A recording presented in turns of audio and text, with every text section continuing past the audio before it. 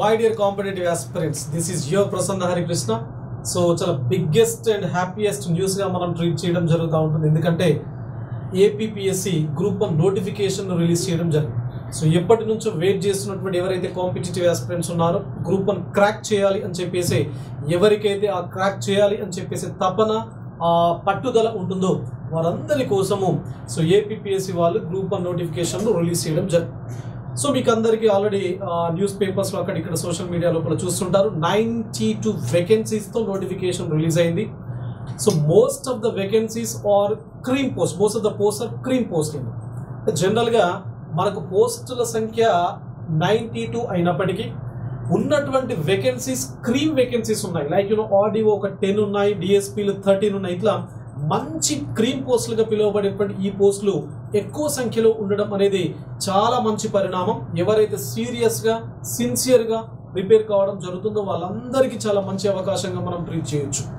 మరి దీనికి సంబంధించి ఎందుకు ఇక్కడ so group one APSC group వన్కి సంబంధించినటువంటి ప్రిలిమ్స్కి సంబంధించి ఒక ఫుల్ కోర్సును విన్నర్స్ ఆన్లైన్ ఆఫర్ చేయడం జరుగుతూ ఉంది సో ఎందుకు ఫుల్ కోర్సును ప్రిలిమ్స్ను ఎక్స్క్లూజివ్గా బేస్ చేసుకొని ఆఫర్ చేయడం జరుగుతూ ఉన్నది అంటే సో మీరు ఒకవేళ నోటిఫికేషన్ అబ్జర్వ్ చేసినట్లయితే so this is October first almost right so tentative date ఎప్పుడు ఇవ్వడం జరిగింది అంటే డిసెంబర్ లోపల.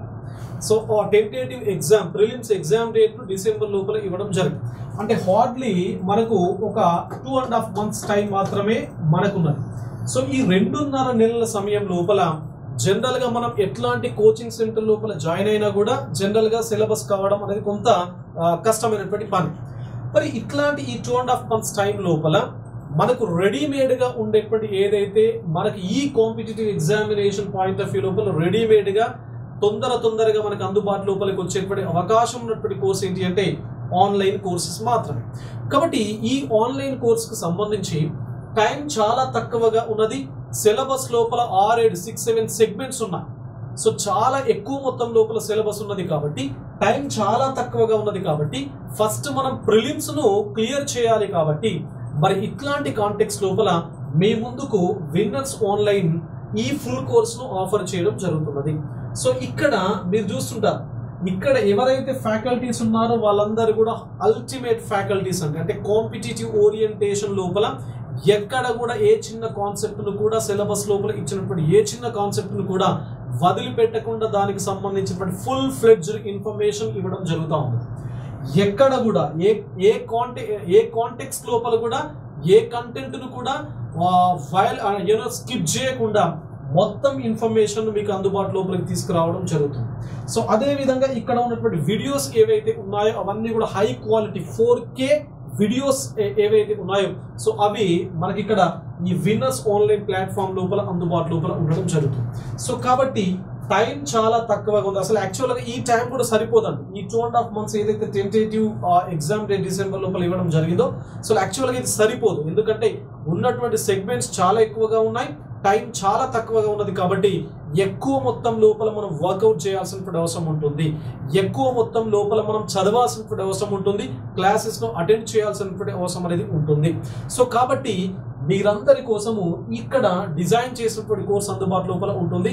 Just you can download Winners Online app from the Google Play Store and you can purchase it okay మరి ఇప్పుడు ఇక్కడ ఇచ్చినటువంటి ఈ పరిస్థితి ఏదైతే ఉందో రైట్ సో మరి ఇక్కడ ఈ group one notification already release కావడం జరిగింది అని చెప్పేసి ఆల్రెడీ చెప్పాను మరి ఎన్ని వేకెన్సీస్ ఉన్నాయో కూడా మీకు చెప్పడం జరిగింది. నైన్టీ టూ వేకెన్సీస్ ఉన్నాయి అని చెప్పేసి మీకు ఆల్రెడీ ఇన్ఫర్మేషన్ ఇచ్చాను దెన్ మరి సిలబస్ లోపల ఏమైనా చేంజెస్ ఉన్నాయా? మార్పులు ఏమైనా సిలబస్ లోపల ఉన్నాయా? అంటే సిలబస్ లోపల మనకు మార్పులు లేవనే చెప్పొచ్చు. ఒకసారి if you go through the syllabus last group one ఎగ్జామినేషన్కి సంబంధించినటువంటి సిలబస్ని ఇప్పుడు నోటిఫై చేసినటువంటి ఈ ఎగ్జామ్ యొక్క సిలబస్ను కంపేర్ చేసినట్లయితే మనకి ఎట్లాంటి చేంజెస్ అనేవి కనబడుతుంది దెన్ నెగటివ్ మార్కింగ్ పరిస్థితి ఏంటి? దెన్ ప్రిలిమ్స్ రేషియో ఏ విధంగా ఉంటుంది? అదేవిధంగా ఏ పుస్తకాలను ఏ బుక్స్ను మనం ఫాలో అవుతే ఈ ప్రిలిమ్స్ను కానీ మెయిన్స్ను కానీ క్రాక్ చేసే అవకాశం అనేది ఉంటుంది. సో ఇట్లాంటి ఈ అంశాలన్నింటినీ కూడా మనం ఒకసారి విహంగ వీక్షణం ఓవర్ వ్యూ అనేది మనం ఒకసారి చూద్దాం. క్లియర్ సో మరి ఇక్కడ ఈ పోస్టుల సంఖ్య మాత్రం మనకు ఆల్రెడీ తెలుసు. నైన్టీ టూ ఉన్నాయి అని చెప్పేసి. నైన్టీ టూ లోపల మంచి క్రీమ్ పోస్టుల నంబర్ అనేది కొంచెం ఎక్కువగా ఉంది కాబట్టి మనం గట్టిగా కనుక ప్రయత్నం చేస్తుంటే తప్పనిసరిగా ఈ ఎగ్జామ్ను క్లియర్ చేసేటువంటి అవకాశం అనేది ఉంటుంది దెన్ సిలబస్ లోపల మేజర్ చేంజెస్ ఏవి లేవండి? సో ఇక్కడ జనరల్గా మనకు మూడు దశల లోపల ఎగ్జామ్ ఉంటుంది అని చెప్పేసి everybody knows that okay so prelims ఉంటుంది మెయిన్స్ ఎగ్జామ్ అనేది ఉంటుంది. అదే విధంగా సో పర్సనాలిటీ టెస్ట్ ఓకేనా? సో పర్సనాలిటీ టెస్ట్ ఆర్ మనం ఈజీగా అర్థం చేసుకోవడానికి మనము ఇంటర్వ్యూ అని చెప్పేసి పేరుతో పిలుస్తూ ఉంటాం. సో సాధారణంగా ఆంధ్రప్రదేశ్ ప్రభుత్వం ఇంటర్వ్యూలను ఎత్తివేయడం జరిగింది గతం లోపల. కానీ నోటిఫికేషన్ ఇప్పుడు ఈ నోటిఫికేషన్ గనక మీరు చూసినట్లయితే సో ఇంటర్వ్యూస్ ఏవైతే ఉన్నాయో ఇంటర్వ్యూస్ అంటే పర్సనాలిటీ టెస్ట్ ఉంటుంది అని చెప్పేసి క్లియర్ కట్గా నోటిఫికేషన్ లోపల మెన్షన్ చేయడం జరిగింది. యాక్చువల్గా ఏపీ లోపల జరిగేటువంటి ఏ కాంపిటేటివ్ ఎగ్జామినేషన్కు కూడా ఇంటర్వ్యూస్ ఉండవు అని చెప్పేసి గతం లోపల మనకి ఇన్ఫర్మేషన్ ఇవ్వడం జరిగింది గవర్నమెంట్ కానీ ఈ నోటిఫికేషన్ మీరు చూసినట్లయితే పర్సనాలిటీ టెస్ట్ రూపం లోపల ఇంటర్వ్యూస్ ఉన్నాయి అని చెప్పేసి మనకు నోటిఫికేషన్ లోపల క్లియర్గా కనబడుతుంది. కాబట్టి మూడు దశల లోపల ఎగ్జామ్ అనేది కనబడుతుంది. సో ఒకటి ప్రిలిమ్స్.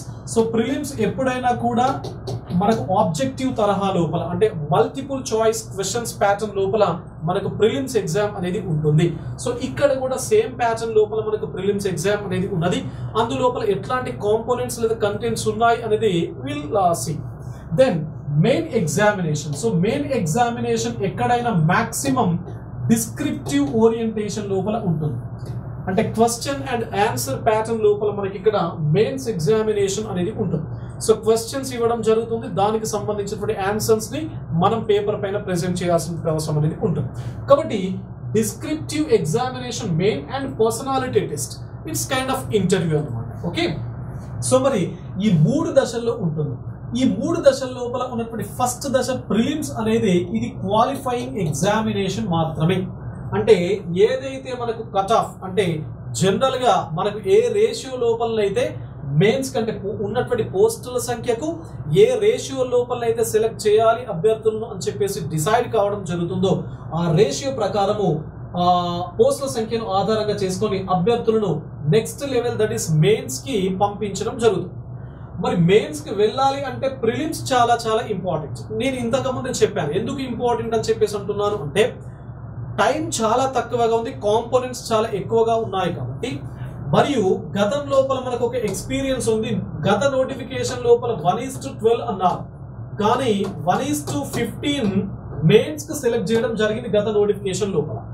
మరి ఇప్పుడు కూడా మీరు ఈ మీ మీ- ఇప్పుడు ఇచ్చినటువంటి నోటిఫికేషన్ మీరు క్లియర్ కట్గా చూసినట్లయితే ఎక్కడా కూడా మెన్షన్ చేయలేదు క్లియర్గా సో ఇది డిసైడ్ అవుతుంది అంటే పరిస్థితులకు అనుగుణంగా ఈ రేషియో డిసైడ్ అవుతుంది అని చెప్పేసి నోటిఫికేషన్ లోపల మెన్షన్ చేయడం జరిగింది.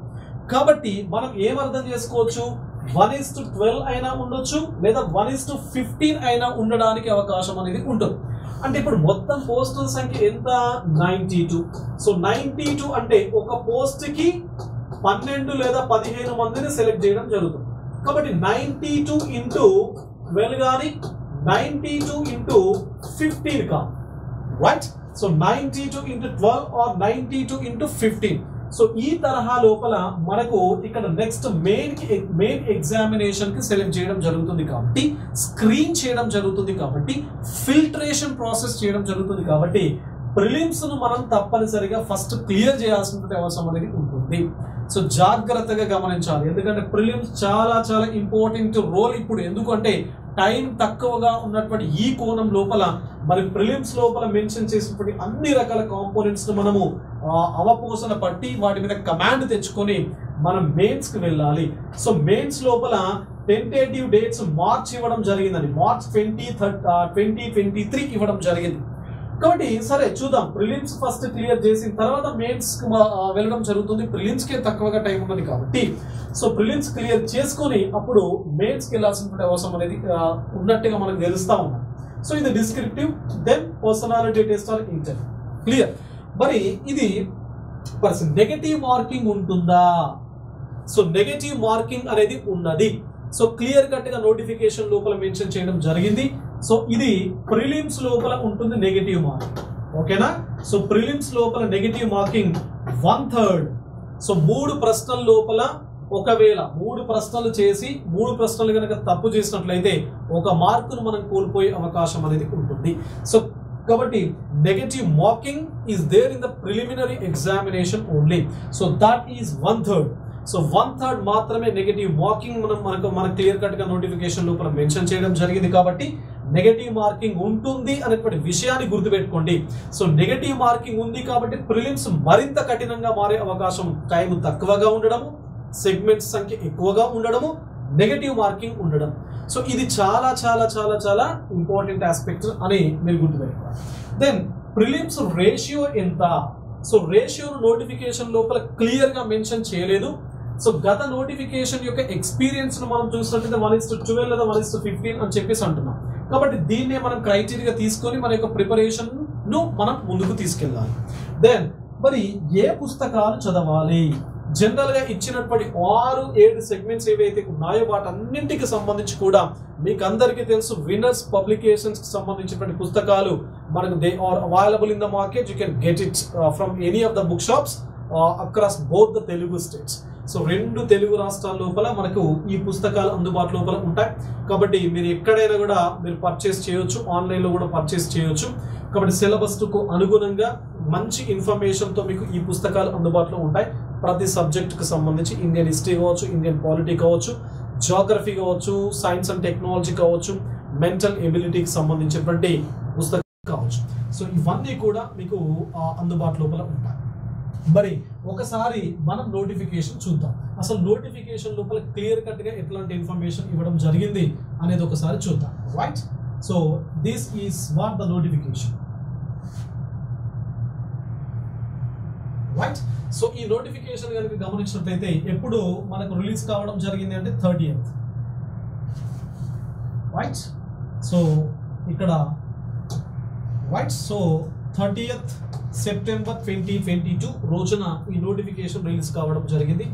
మరి ఈ నోటిఫికేషన్కి సంబంధించినటువంటి డీటెయిల్స్కి వెళ్తే మనకు అప్లికేషన్ ఎప్పుడు స్టార్ట్ అవుతుందో ఒకసారి చూడండి. So application starts from thirteenth October onwards so thirteenth October onwards ఎప్పటి వరకు?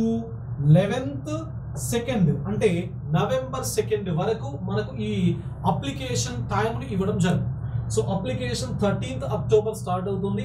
ఎప్పటి వరకు? నవంబర్ సెకండ్ వరకు కంటిన్యూ అవుతుంది. November second will be the last day for application కాబట్టి ఈ డేట్ని గుర్తుపెట్టుకునేటువంటి ప్రయత్నం చేయండి. రైట్ దెన్ ఇంకా ముఖ్యమైనటువంటి అంశాలు ఏముంటాయి అని మనం ఒకసారి చూసినట్లయితే సో దీనికి సంబంధించి ముఖ్యమైనటువంటి అంశాలను మనం పరిగణ లోపలికి తీసుకుందాము. ఒకటి మనకు అప్లికేషన్ డేట్కి సంబంధించి. రెండవది ఏంటి అంటే ఇంతకుముందు చెప్పాను కదా మీకు స్క్రీనింగ్ టెస్ట్కి సంబంధించి.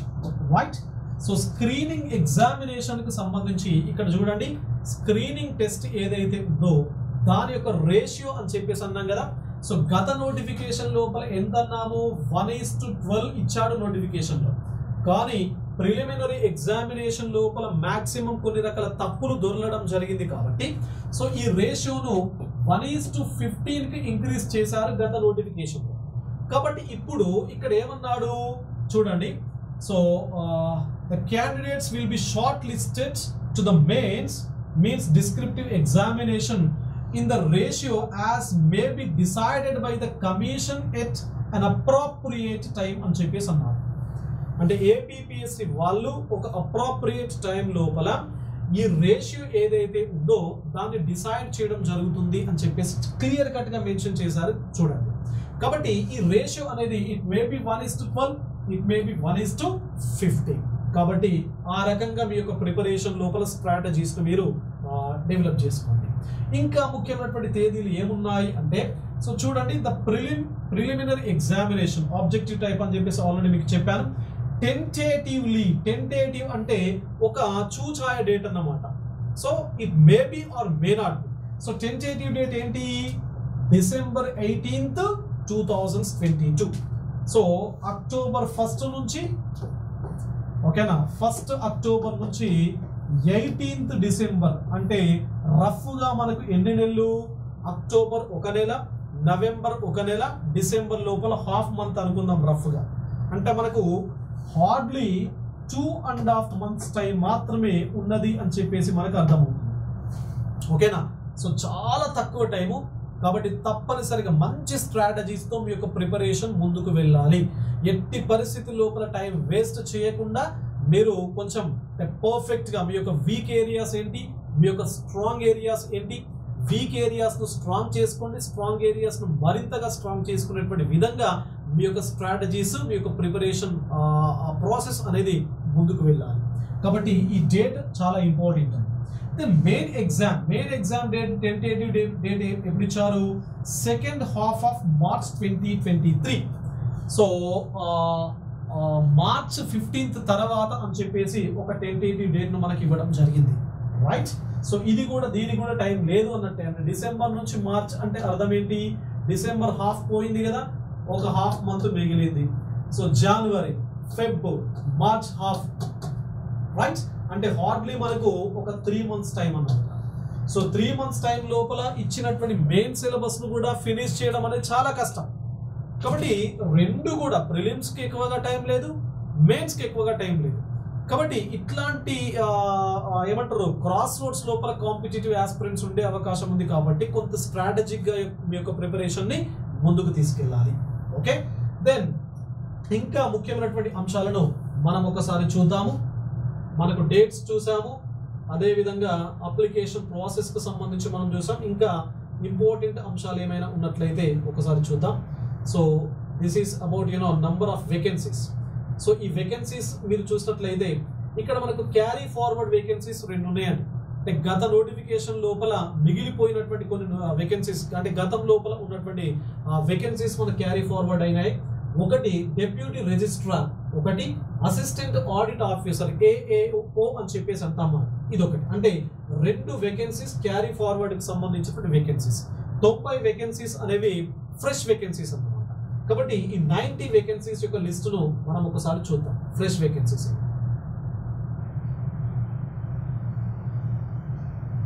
రైట్ సో చూడండి. ఇక్కడ డెప్యూటీ కలెక్టర్స్ మనకు టెన్ ఉన్నాయి. సో చాలా మంచి నోటిఫికేషన్ ఇది. ఎందుకంటే డెప్యూటీ కలెక్టర్ కలెక్టర్స్ టెన్ ఉండడం అనేది చాలా బిగ్గెస్ట్ నంబర్ అది. Then assistant commissioner of the state tax ఇది ట్వెల్వ్ ఉన్నాయి. దెన్ డిఎస్పీలు థర్టీన్ ఉన్నాయి. డెప్యూటీ సూపరింట్ ఆఫ్ జైల్స్ మెన్కి సంబంధించి టూ ఉన్నాయి. సో డిస్ట్రిక్ట్ ఫైర్ ఆఫీసర్స్ రెండు ఉన్నాయి. అసిస్టెంట్ ట్రెజరీ ఆఫీసర్ ఏటీఓస్ అని చెప్పేసి అంటే ఎయిట్ ఉన్నాయి. రీజనల్ ట్రాన్స్పోర్ట్ ఆఫీసర్ ఆర్టీఓస్ రెండు ఉన్నాయి. ఎంపీడీఓ సెవెన్ ఉన్నాయి. డిస్ట్రిక్ట్ రిజిస్ట్రార్స్ మూడు ఉన్నాయి. సో ఇతరత్ర వేకెన్సీస్ మనకి ఇక్కడ కనబడుతుంది. సో ఇది నోటిఫికేషన్ లోపల ఉన్నది కాబట్టి మీకు నేను ఇది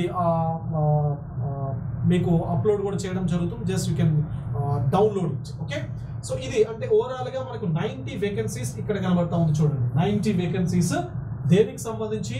ఫ్రెష్ వేకెన్సీస్గా మనము చెప్తా ఉన్నాం. కాబట్టి మంచి పోస్టులు అంటే డెప్యూటీ కలెక్టర్లు పదున్నాయి. డిఎస్పీలు పదమూడు ఉన్నాయి ఇవి రెండు చాలండి. ఓకేనా? అదేవిధంగా ఎంసీలు మున్సిపల్ కమిషనర్స్ ఆరు ఉన్నాయి చూడండి. మంచి నంబర్ ఇది మంచి నంబర్ ఓకేనా? కాబట్టి ఎక్కడ కూడా మనకు అంటే మంచి వేకెన్సీస్లో ఎక్కడ కూడా కాంప్రమైజ్ కాకుండా మనము చదవడానికి అవకాశం ఉన్నటువంటి నోటిఫికేషన్ ఓకేనా? సో నెక్స్ట్ ఇంకా మనకు ఇంకా మనం తెలుసుకోవాల్సినటువంటి అంశాలు ఏమున్నాయి జనరల్గా అని ఒకసారి చూద్దాం. ఇక్కడ యూనిఫామ్ సర్వీసెస్కి సంబంధించి చూడండి. మొన్ననే గవర్నమెంట్ ఆఫ్ ఆంధ్రప్రదేశ్ ఒక రెండు సంవత్సరాల రిలాక్సేషన్ కూడా ఇవ్వడం జరిగింది. ఇక్కడ చూడండి. సో ఈ రిలాక్సేషన్కు సంబంధించిన సంబంధించినటువంటి డేటు దానికి సంబంధించినటువంటి జీవో నంబర్ వన్ ట్వంటీ అనేది రిలాక్సేషన్కు సంబంధించినటువంటి age relaxation for uniform post రెండు సంవత్సరాల రిలాక్సేషన్ ఇవ్వడం జరిగింది యూనిఫామ్ పోస్ట్లకు సంబంధించి. సో ఇదొకటి మనం గుర్తుపెట్టుకోవాలి.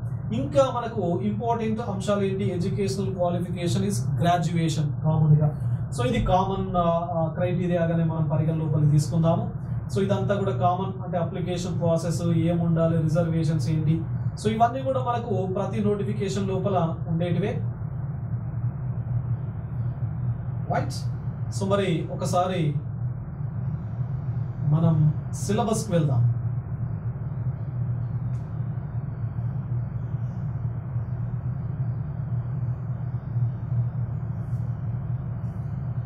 రైట్ సో మనకి ఇక్కడ సిలబస్ అనేది so this is a splitting of vacancies so carry forward vacancies సంబంధించిన స్ప్లిట్స్ ఎట్లా జరిగాయి? దెన్ ఫ్రెష్ వేకెన్సీస్కి సంబంధించిన స్ప్లిట్స్ అండి. సో ఇక్కడ ఎన్ని డిప్యూటీ కలెక్టర్స్ ఉన్నాయి? దెన్ స్టేట్ వైడ్ క్యాడర్ సంబంధించి స్టేట్ వైడ్ క్యాడర్ కాబట్టి టూ ఉన్నాయి జనరల్ లోపల విమెన్ లోపల ఉంటుంది అట్లా అన్ని వేకెన్సీస్కి సంబంధించినటువంటి స్ప్లిట్టింగ్ అనమాట ఒకసారి మీరు నోటిఫికేషన్ లోపల you can get it then so come to the syllabus మరి మనం ఇంతకు ముందుగానే చెప్పుకున్నాం ప్రిలిమినరీ ఎగ్జామినేషన్ ఆబ్జెక్టివ్ టైప్లో ఉంటుంది main examination descriptive type and personality test ఉంటుంది అని చెప్పేసి. నేను ఇక్కడ సిలబస్ను డీటెయిల్గా వెళ్ళట్లేదు ఎందుకంటే మళ్ళీ ఫర్దర్ వీడియోస్ లోపల సబ్జెక్ట్ ఏవైతే ఇవ్వడం జరిగిందో ఒక్కొక్క కాంపోనెంట్ను మనం డీటెయిల్గా అంటే సబ్జెక్ట్ ఎక్స్పర్ట్స్ ఎవరైతే ఉన్నారు జాగ్రఫీ కానీ పాలిటీ హిస్టరీ ఇవన్నీ ఎవరైతే ఉన్నారో సో ఆ సబ్జెక్ట్ ఎక్స్పర్ట్స్ చేత మనం డీటెయిల్గా సిలబస్ అనాలిసిస్కి సంబంధించినటువంటి వీడియోస్ మీ మీకు అందుబాటు లోపలికి తీసుకొచ్చే ప్రయత్నం చేస్తాం. మరి ఇక్కడ ఓవరాల్ ఒక బ్రీఫ్ ఓవర్ ఓవర్ వ్యూని గమనించినట్లయితే సో ఎట్లా ఉన్నది సిలబస్? స్క్రీనింగ్ టెస్ట్ అని చెప్పేసి అన్నాం. ఫస్ట్ది ప్రిలిమినరీ ఎగ్జామినేషన్ మనం ఏమన్నాము? స్క్రీనింగ్ ఎగ్జామినేషన్ అని చెప్పేసి అన్నాం. సో స్క్రీనింగ్ టెస్ట్ మరి ఈ స్క్రీనింగ్ టెస్ట్ లోపల ఎన్ని పేపర్స్ ఉన్నాయి చూడండి సబ్జెక్ట్ ఓకేనా చూడండి. స్క్రీనింగ్ టెస్ట్ అనేది objective type then paper one general studies this paper consist of four parts A B C D అని చెప్పేసి అన్నాడు. ఒక్కొక్క పార్ట్ థర్టీ మార్క్స్ వెయిటేజ్ అనేది ఉంటుంది. సో ఇది ఒకటి then screening test objective type paper two అన్నాడు. అంటే ఓవరాల్గా మనకు పేపర్ వన్ ఉన్నది దెన్ పేపర్ టూ ఉన్నది. అంటే రెండు పేపర్లు ఉన్నట్టుగా మనం మనకు అర్థమవుతుంది. ఓకేనా? సో పేపర్ వన్ లోపల ఏబిసిడి అంటే నాలుగు సెగ్మెంట్స్ ఉన్నాయి. పేపర్ టూ లోపల ఎన్ని సెగ్మెంట్స్ ఉన్నాయి? టూ పార్ట్స్ అంటే రెండు సెగ్మెంట్స్ ఉన్నాయి అన్నమాట. ఓకే మరి ఇక్కడ ఈ పేపర్ వన్ లోపల ఈ నాలుగు ఏబిసిడి లోపల first one that is history and culture so ఇక్కడ గుర్తుపెట్టుకోవాలి. History and culture of India మాత్రమే మీకు సిలబస్ లోపల ఇవ్వడం జరిగింది. So history and culture of India అంటే భారతదేశ చరిత్ర మరియు సంస్కృతికి సంబంధించినటువంటి అంశాన్ని మాత్రమే ఇవ్వడం జరిగింది. సో ప్రతిదీ కూడా ఎన్ని మార్క్స్? Thirty marks. అంటే history and thirty marks. Constitution polity social justice and international relations so ఈ మొత్తం సెగ్మెంట్కి థర్టీ. ఇక్కడ నాలుగు ఉన్నాయి మళ్ళీ. అంటే రెండవ సెగ్మెంట్ లోపల నాలుగు అంశాలు ఉన్నాయి ఒకటి కాన్స్టిట్యూషన్ రాజ్యాంగానికి సంబంధించినటువంటి ఇన్ఫర్మేషన్ దెన్ పాలిటీ సో ఇక్కడ రాజకీయ వ్యవస్థకు సంబంధించి పొలిటికల్ సిస్టమ్కి సంబంధించినటువంటి information then number three social justice సామాజిక న్యాయానికి అంటే రైట్స్ ఇష్యూస్ ఉంటాయి ఇక్కడ. హక్కులకు సంబంధించినటువంటి సమస్యలు హక్కుల అంశాలు ఏవైతే ఉన్నాయో సో అది దీనిలో ఉంటాయి దెన్ ఇంటర్నేషనల్ రిలేషన్స్ అంతర్జాతీయ అంశాలు ఉంటాయి సంబంధాలు ఉంటాయి. కాబట్టి అంటే రెండవ సెగ్మెంట్ లోపల కేవలం పాలిటీయే కాదు పాలిటీ ఉన్నది కాన్స్టిట్యూషన్ ఉన్నది సోషల్ జస్టిస్ ఉన్నది అండ్ ఇంటర్నేషనల్ రిలేషన్స్ అనేది ఉన్నాయి. ఈ నాలుగు చిన్న సెగ్మెంట్స్ కలిపి థర్టీ మార్క్స్ వెయిటేజ్ అన్నమాట. ఓకేనా? దెన్ నంబర్ త్రీ వచ్చినట్లయితే Indian and Andhra Pradesh economy and planning అంటే బ్రాడర్ పర్స్పెక్టివ్ లోపల మనం దీన్ని ఎకానమీగా అర్థం చేసుకోవచ్చు. అంటే ఎకానమీ రెండు యాంగిల్స్ లోపల మనం స్టడీ చేయాలి. ఒకటి ఇండియన్ ఎకానమీని స్టడీ చేయాలి. రెండవది ఆంధ్రప్రదేశ్ ఎకానమీ స్టడీ చేయాలి. కానీ ఇక్కడ ఇండియన్ ఎకానమీ లోపల వేటే సెగ్మెంట్స్ ఎక్కువగా ఇవ్వడం జరిగింది సిలబస్ లోపల. ఆంధ్రప్రదేశ్ ఎకానమీకి సంబంధించిన సెగ్మెంట్స్ కొంచెం తక్కువగా ఇచ్చారు. అదేవిధంగా ఏపీ ఎకానమీకి సంబంధించి దీని లోపల బైఫర్కేషన్ యాక్ట్ను స్పెషల్గా మెన్షన్ చేయడం జరిగింది. సో మళ్ళీ మనము డీటెయిల్గా చూద్దాం. సెగ్మెంట్ వైజ్ జస్ట్ ఒకసారి ఒక ఓవర్ ఓవర్వ్యూ ఇస్తున్నాను. దెన్ జాగ్రఫీ సో ఇక్కడ సింపుల్గా మనకు జాగ్రఫీ అన్నారు. కానీ ఈ జాగ్రఫీ మూడు అంశాలు అడిగాడు వరల్డ్ జాగ్రఫీని మెన్షన్ చేయడం జరిగింది. ఇండియన్ జాగ్రఫీని మెన్షన్ చేయడం జరిగింది. అదే విధంగా state geography that is you know AP జాగ్రఫీని mention చేయడం జరిగింది. కాబట్టి మూడు రకాల అంశాలను చదవాలి. కాబట్టి చూడండి. ఇక్కడ మూడు ఇండియా వరల్డ్ ఏపీ చదవాలి. ఇక్కడ ఇండియన్ అండ్ ఆంధ్రప్రదేశ్ ఎకానమీ చదవాలి. ఇక్కడ నాలుగు సెగ్మెంట్స్ చదవాలి. ఇక్కడ ఓవరాల్గా ఓవర్ మొత్తం ఇండియన్ హిస్టరీని చదవాలి. అంటే ఒక ఇక్కడ పేపర్ వన్లో ఉన్నటువంటి జనరల్ స్టడీస్లో ఎన్ని కాంపోనెంట్స్ ఉన్నాయో చూడండి. ఇవన్నింటిని కూడా మనం చదవాలి. ఓకేనా? సో మొత్తం questions number one twenty one twenty minutes time marks weightage ఎంత? One twenty marks okay then మరి ఇక్కడ పేపర్ టూకి వచ్చినట్లయితే రైట్ సో పేపర్ టూకి వచ్చినట్లయితే సో ఎట్లాంటి పరిస్థితి ఉంటుంది? ఒకసారి చూడండి. రైట్ సో పేపర్ టూకి వచ్చినట్లయితే ఈ పేపర్ టూ లోపల మనకు జనరల్ యాప్టిట్యూడ్ అని చెప్పేసి అంటున్నాం. జనరల్ యాప్టిట్యూడ్ పేపర్ అని చెప్పేసి అంటున్నాం. So this paper consist of two parts ఒకటి A and B each part carries sixty marks ఓకేనా? Part A sixty marks part B కూడా సిక్స్టీ మార్క్స్ వేటేజ్ని కలిగి ఉండడం జరుగుతుంది. మరి ఇక్కడ పార్ట్ ఏలో ఏముంటుంది? పార్ట్ బిలో ఏముంటుంది? అనేది ఒకసారి చూద్దాం. సో పార్ట్ ఏ లోపల general mental ability administrative and psychological abilities అనేది మనకు పార్ట్ ఏలో ఉన్నటువంటి అంశం. రైట్ సో ఇక్కడ ఈ సెగ్మెంట్ అంటే పార్ట్ ఏ సెగ్మెంట్ను మనము ఆ స్థూలంగా విభజించినట్లయితే మూడు అంశాలు చాలా క్లియర్గా కనబడతాయి. సో ఏంటి ఆ మూడు అంశాలు అంటే ఇక్కడ చూడండి. నంబర్ వన్ మొదటిది రీజనింగ్ అనేటువంటి అంశం. ఓకే నంబర్ టూ అరిథమెటిక్ అనేటువంటి అంశం. ఓకే నంబర్ త్రీ ఇది సైకలాజికల్ ఎబిలిటీస్ సైకలాజికల్ ఎబిలిటీస్ ఓకేనా like you know emotional intelligence అనేటువంటి అంశం ఉంటుంది చూడండి. ఓకేనా సో రీజనింగ్ అనేటువంటి అంశానికి సంబంధించినటువంటి సెగ్మెంట్స్ ఉంటాయి. కొన్ని క్లాక్స్ క్యాలెండర్స్ బ్లడ్ రిలేషన్స్ ఇట్లాంటివి ఉంటాయి కదా? దెన్ అరిథమెటిక్ సంబంధించి టైం డిస్టెన్స్ ఇట్లాంటి అంశాలు ఏవైతే ఉన్నాయో దెన్ సైకలాజికల్ ఎబిలిటీ ఎమోషనల్ ఇంటెలిజెన్స్కి సంబంధించినటువంటి అంశాలు ఏవైతే ఉన్నాయో. సో ఈ మూడు సెగ్మెంట్స్ కలిపి పార్ట్ ఏగా మనం కన్సిడర్ చేస్తాం. సో ఈ మూడింటికి ఇచ్చినటువంటి వేటేజ్ ఎంత? Sixty marks sixty marks okay then part below ఏమున్నాయి? రెండు సెగ్మెంట్స్ ఉన్నాయి. ఒకటి సైన్స్ అండ్ టెక్నాలజీ ఉంది దీనికి థర్టీ మార్క్స్ వేటేజ్ ఓకేనా రెండవది కరెంట్ అఫైర్స్ కరెంట్ ఈవెంట్స్ ఉన్నాయి థర్టీ మార్క్స్ వేటేజ్. అంటే science and technology is given thirty marks weightage and current affairs or current events is given thirty marks weightage. కాబట్టి మనకు ఈ science and technology లోపల మనకు science and technology includes environmental issues అన్నమాట. Environmental పర్యావరణ సమస్యలు సుస్థిర అభివృద్ధికి సంబంధించినటువంటి అంశాలు కూడా దీని లోపల ఇంక్లూడ్ అయి ఉంటాయి. దెన్ కరెంట్ అఫైర్స్ అంటే వరల్డ్కి సంబంధించి సంబంధించి నేషనల్ అంటే ఇంటర్నేషనల్ నేషనల్ అండ్ రీజనల్ అంటే ఆంధ్రప్రదేశ్కు సంబంధించినటువంటి changes or you know contemporary developments దేశానికి సంబంధించినటువంటి కాంటెంపరీ డెవలప్మెంట్స్ అండ్ ప్రపంచం లోపల జరుగుతున్నటువంటి కాంటెంపరీ డెవలప్మెంట్స్ ఏవైతే ఉన్నాయో సో వీటన్నింటిని కూడా మనం ఇక్కడ చూడాలి. సో సేమ్ ప్రాసెస్ ఇక్కడ one twenty questions one twenty one twenty minutes one twenty marks అంటే paper one is given one twenty one twenty marks weightage and paper two is also given one twenty marks weightage కాబట్టి ఓవరాల్గా మనకు prelims exam ఎన్ని మార్కులకు నిర్వహిస్తారు? Two forty మార్క్స్కి నిర్వహించడం జరుగుతుంది. రెండు పేపర్లు ఉంటాయి.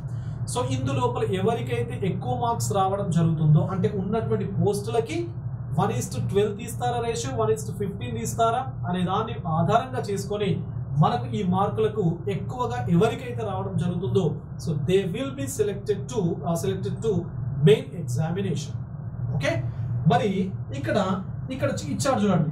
నోట్ పెట్టేసి negative marks as per GO MS number two thirty five finance department two thousand sixteen లోపల ఇచ్చినటువంటి జీవో ప్రకారము each wrong answer will be penalised with one third of the marks prescribed for the question అర్థమైంది నేను already మీకు చెప్పాను ఫస్టే చెప్పాను.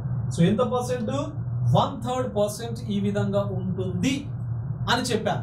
కాబట్టి జాగ్రత్తగా ఈ ప్రిలిమ్స్ ఆబ్జెక్టివ్ కాబట్టి జాగ్రత్తగా మనము చేసి దీని నుంచి బయటపడి మెయిన్స్కి వెళ్ళాలి. సో ఆల్రెడీ మీకు చెప్పాను మెయిన్స్ అనేది డిస్క్రిప్టివ్ ఎగ్జామ్ అని చెప్పేసి మీకు చెప్పడం జరిగింది. సో ఈ మెయిన్ ఎగ్జామ్ లోపల మనకు ఈ తెలుగు పేపర్ ఉంటుంది అదేవిధంగా ఇంగ్లీష్ పేపర్ ఉంటుంది. ఇవి రెండు కూడా ఏంటివి? క్వాలిఫైయింగ్ పేపర్స్ మాత్రమే. సో తెలుగు ఇంగ్లీష్ అనేది కామన్గా ఎప్పటి నుంచో మనకు మెయిన్ ఎగ్జామ్ లోపల కనబడుతుంది. సో ఇవి రెండు కూడా మనకు మార్క్స్ స్కోర్ చేయాల్సిన అవసరం లేదు. ఈ మార్క్స్ ఫైనల్ సెలెక్షన్కు కలపబడవు. కేవలం క్వాలిఫైయింగ్ నేచర్ మాత్రమే కాబట్టి ఇక్కడ one fifty marks one fifty marks then ఇక్కడ paper one paper two paper three paper four and paper five ఈ ఐదు పేపర్ల లోపల వచ్చేటువంటి మార్క్స్ ఏవైతే ఉన్నాయో అవి ఫైనల్ సెలెక్షన్కు కు కాబట్టి పేపర్ వన్ లోపల మనకు బ్రాడ్ స్పెక్ట్రమ్ లోపల ఏముంది? జనరల్ ఎస్ఏ ఉంది ఇందు లోపల కాంటెంపరీ థీమ్స్ ఉంటాయి కొన్ని ఇవ్వడం జరుగుతుంది ఇవన్నీ కూడా ఇచ్చారు. సో వాటిపైన మనకు క్వశ్చన్స్ అనేవి ఉంటాయి. దెన్ ఎంత? One fifty marks weightage then paper టూలో history and culture geography of India and Andhra Pradesh అంటే ఇక్కడ geography of India geography of Andhra Pradesh history of India history of Andhra Pradesh కాబట్టి నాలుగు segments ఉంటాయి అని చెప్పేసి మనం అర్థం చేసుకోవచ్చు పేపర్ టూ లోపల. Same marks weightage one fifty marks then paper త్రీలో polity constitution governance law and ethics అని చెప్పేసి. సో ఇది కొంచెము అంటే లా అండ్ ఎథిక్స్ అనేది కొంచెము స్పెసిఫిక్గా స్పెషల్గా మనం ప్రిపేర్ కావాల్సిన అవసరం అనేది ఉంటుంది. ఎందుకంటే జనరల్గా ఇప్పటి వరకు మనం నార్మల్గా రాసేటువంటి కాంపిటేటివ్ ఎగ్జామినేషన్స్ లోపల ఈ లా పైన ఎథిక్స్ పైన క్వశ్చనింగ్ కొంచెం తక్కువగా ఉంటుంది.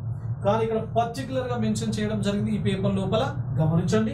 So same weightage one fifty marks then economy and development of India and Andhra Pradesh అంటే ఆంధ్రప్రదేశ్ అండ్ ఇండియాకు సంబంధించినటువంటి ఎకానమీ పేపర్ మనకు one fifty marks weightage then science and technology environmental issues same weightage that is one fifty marks okay మరి ఇక్కడ అంటే ఓవరాల్గా five five into one fifty okay then ఇంకా seventy five marks weightage ఎవరికి ఇచ్చారు already మీకు చెప్పాను మూడవ దశ చిత్త చివరి దశ దట్ ఈస్ పర్సనాలిటీ టెస్ట్ మరి ఈ పర్సనాలిటీ టెస్ట్కి ఎంత వేటేజ్ ఇచ్చారు? సెవెంటీ ఫైవ్ మార్క్స్ కాబట్టి మొత్తం ఈ five papers into one fifty marks plus seventy five so total marks ఎన్ని? Eight twenty five marks so ఇది ఫైనల్ సెలెక్షన్కి పరిగణ లోపలికి తీసుకునేటువంటి మార్క్స్ అన్నమాట. కాబట్టి జాగ్రత్తగా దీన్ని ఆధారంగా చేసుకుని ఫస్ట్ ప్రిలిమ్స్ పైన ఎక్కువగా ఫోకస్ చేయండి ప్రిలిమ్స్ను క్లియర్ చేయండి దెన్ మెయిన్ లోపల డిస్క్రిప్టివ్ ఆన్సర్ రైటింగ్ ప్రాక్టీస్ బాగా చేయండి. సో ఇందు లోపల సక్సెస్ కండి.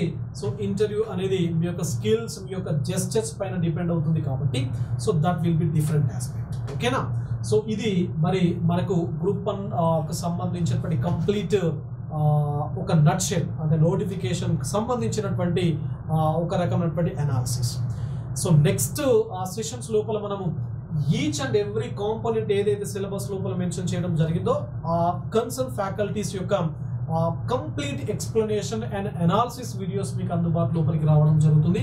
ప్రతిరోజు ఒక వీడియో మీకు అందుబాటు లోపలికి రావడం జరుగుతుంది. కాబట్టి సో జాగ్రత్తగా సో టైం వేస్ట్ ఎట్టి పరిస్థితుల లోపల సో టైం వేస్ట్ చేయొద్దు ఎట్టి పరిస్థితుల లోపల. ఎందుకంటే మనకున్నటువంటి సమయం చాలా తక్కువగా ఉంది కాబట్టి ఈ సమయం లోపల మనము రైట్ సో మనము ఈ సమయాన్ని పర్ఫెక్ట్గా మనం వాడుకోవాలి. సో వాడుకున్నట్లయితే తప్పనిసరిగా రాబోయేటువంటి ఈ గ్రూప్ వన్ ఎగ్జామ్ లోపల హండ్రెడ్ పర్సెంట్ సక్సెస్ రేట్ అనేది కనబడతా ఉంది. కాబట్టి ఆల్ ది బెస్ట్ వన్ అంట థ్యాంక్ యూ వన్ అంట